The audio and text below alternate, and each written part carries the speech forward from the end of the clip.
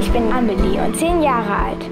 Ich bin die vierte Kinderkurdirektorin von Kalzagen. Und zusammen mit meinem Team stelle ich einiges auf die Beine.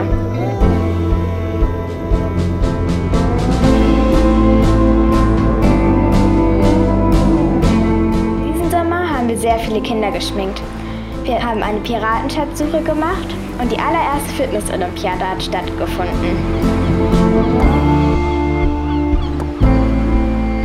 Gefällt besonders an meinem Job, dass ich etwas in Kalzagen bewegen kann, dass ich auch etwas verändern kann und mich für andere Kinder einsetzen kann.